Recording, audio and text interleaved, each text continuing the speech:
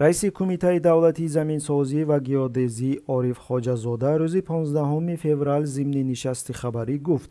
Тоҷикистон имкони таъмини аҳолии 50 миллион нафарро дорад ба гуфтаи мансабдор барои ин ҳама хоҷагиҳо аз ҷумла деҳқонон кооперативҳо ва соҳибони заминҳои назди ҳавлигӣ бояд муносибати худро нисбати замин тағйир диҳанд. Масалан ҳудудҳои истифоданашуда ба муомилот баргардонида шаванд технологияҳои муосир ва обёрии қатрагӣ ҷорӣ карда шаванд.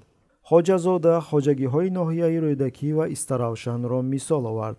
Оби боронро дар зарфҳо ҷамъ карда дар тобистон дар боғҳои худ истифода мебаранд ки дар натиҷа ҳар як ҳавлӣ ҳамеша помидору бодиринг картошка кабудӣ ва дигар маҳсулоти зарурии худро дорад гуфт ӯ ин изҳорот дар навбати худ миёни корбарони бахши тоҷикии шабакаҳои иҷтимоӣ сару садоеро ба бор овард. Масалан дар шабакаи иҷтимоии инстаграм корбарон шарҳҳои зеринро гузоштанд. Мехоҳем намехоҳем марҳила ба марҳила аз рӯи нақши куллии шаҳри душанбе мо ина амалӣ мекунем